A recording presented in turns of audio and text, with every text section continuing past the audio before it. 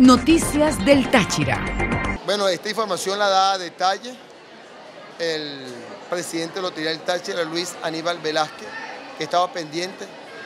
¿Por qué tenemos moral?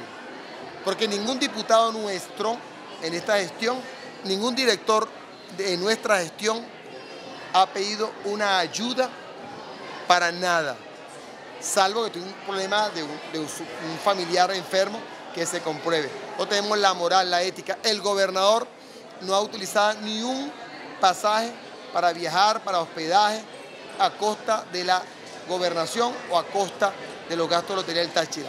Lotería del Táchira es únicamente para atender a las personas con discapacidad que requieren una operación, de un examen médico, de una medicina o de un medio de locomoción o de atención médica. Eso es Lotería del Táchira, no es para arreglar vehículos, no es para hacer operaciones a modelos, es para atender a las personas con discapacidad o personas con bajos recursos.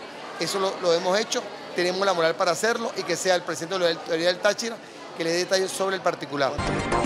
Noticias del Táchira.